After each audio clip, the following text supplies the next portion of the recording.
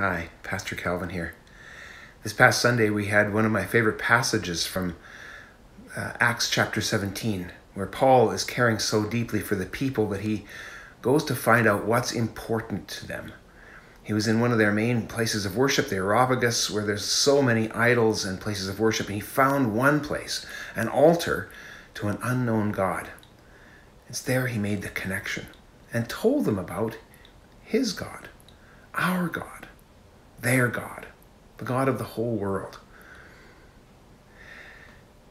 I found another piece in that that's important as well. It's where, um, after Paul was talking about this God who's the one who created all things and all people, and placed in their hearts a desire for Him, so that they would search for Him or grope for Him, though indeed He is not far off. It reminds me again of some of my animals on our, our acreage, our sheep.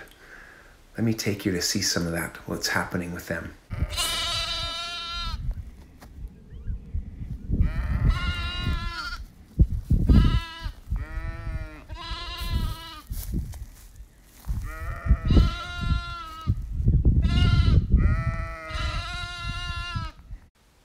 Sometimes the lambs and their mothers get separated and they start complaining, calling to each other, trying to find each other, groping and searching.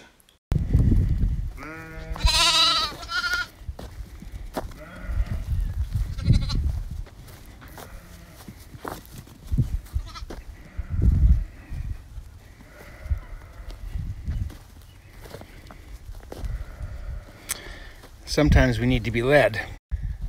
Sometimes we need to be pushed.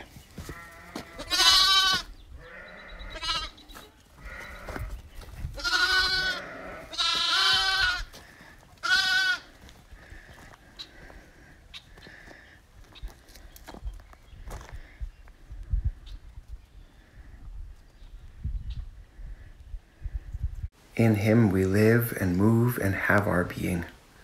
We are his offspring. Let's pray. Dearest Jesus, sometimes we get separated from you and you call to us and we call to you. Help us to find you. Come and find us. For in you we live and move and have our being. Amen.